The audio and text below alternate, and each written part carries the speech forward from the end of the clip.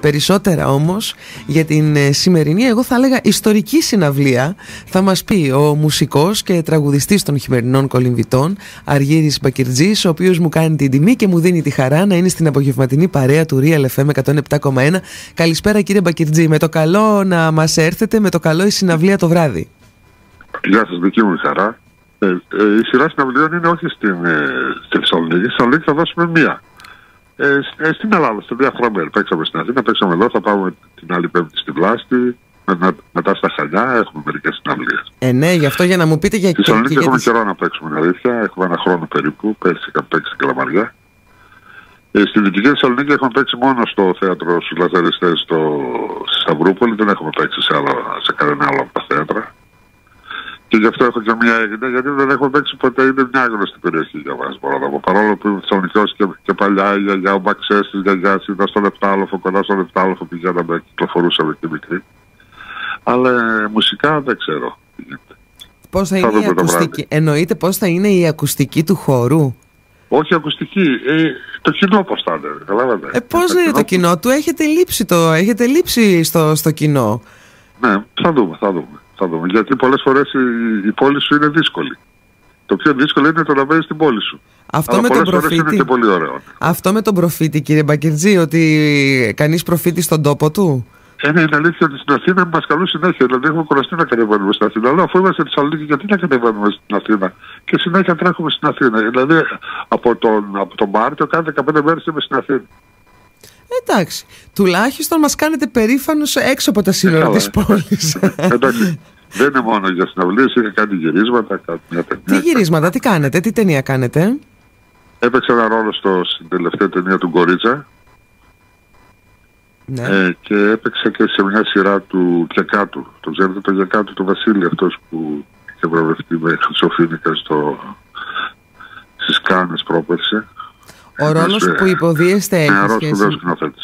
Ο ρόλος που υποδίεστε στις, ε, είτε στη σειρά είτε στην ταινία έχει σχέση με τη μουσική ή είναι τελείως ανεξάρτητος; Όχι, καμία σχέση. Στο κάτω κάνω ένα φάντασμα. Είμαι ο, ο αποθονός σύζυγος της κυρίας Μπαζάκα η οποία στις δύσκολες στιγμές της ζωής της με βλέπει δίπλα της ή απέναντί της. Τι ωραίο, τι ωραίο. Δεν μιλάω καθόλου. Και έλεγε η Μπαζάκα στο σκηνοθέτη, καλά λέει, έφερε το Μακρυζή από τη Θεσσαλονίκη και δεν, ε, και δεν μιλάει. Ε, της λέω αυτό είναι το κόλπο. Το να μπορεί το να το έχεις και να μην το κάνεις. Την πιο Όπως έκανε, το... ναι.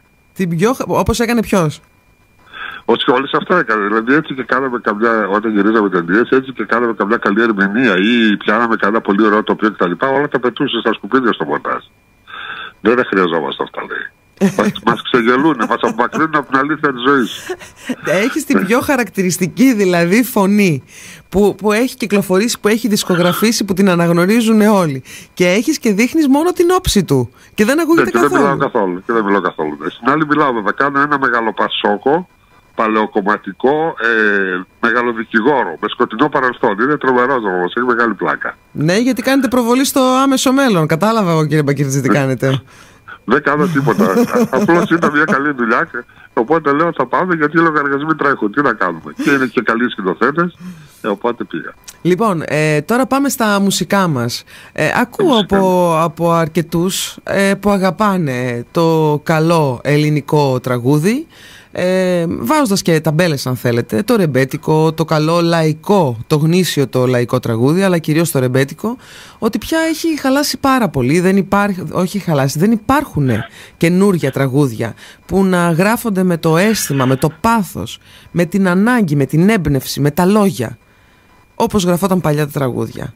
Ε, εντοπίζετε κι εσείς το ίδιο έλλειμμα; Τι να σας πω, τραγούδια ακούμε ορισμένα Ακούμε καλά τραγούδια. Να σας πω, εγώ είμαι πολύ περήφανος. Πρέπει, βέβαια, ευλογώ τα λιόνια μου τώρα.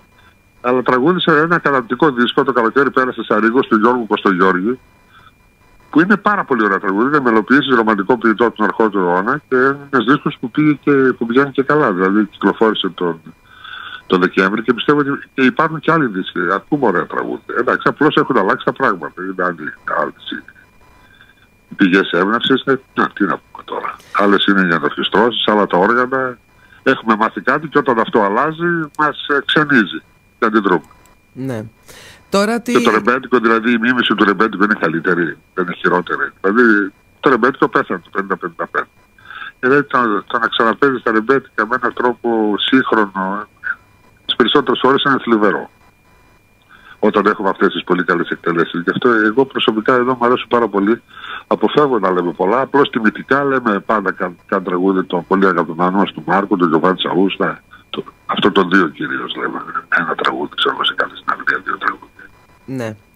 Ε... Αλλά το, το να λες τραγούδια που τα έχουν πει άλλοι καταπληκτικά που αποκλείεται να τα προσεγγίσεις έστω και λίγο, δεν το βρίσκω και πολύ ωραίο. Αν και βέβαια, αν, το, αν σου αρέσει πάρα πολύ, το κάνεις. Ναι. Έτσι δεν είναι. Δηλαδή, πολλοί νέοι που παίζουν αυτά τα ρεμπέτια γιατί τα αγαπάνε, καλά κάνουν και, το, και τα παίζουν και γλεντάνε και ευχαριστούν.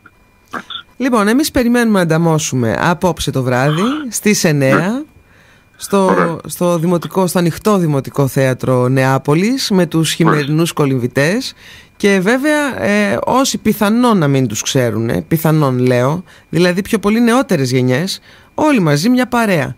Σας ευχαριστώ πολύ κύριε Μπακίρτζη. Να σας πω την αλήθεια κυρίως νέοι έρχονται, δηλαδή στην Αθήνα το κοινό μας είναι κυρίως νέοι, τώρα στη Θεσσαλονίκη δεν ξέρω. Όχι τόσο, αλλά στην Αθήνα έχουμε και εγγόνια ακροατόδοστολα, για να μην σας πω και λισέγκολα. Είναι τρομερό αυτό που γίνεται.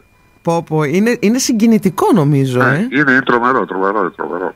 Λοιπόν, για να δούμε η Θεσσαλονίκη πώς θα ανταποκριθεί. Σας ευχαριστώ πολύ για την επικοινωνία. Καλό απόγευμα. Ευχαριστώ πολύ. Ευχαριστώ πολύ.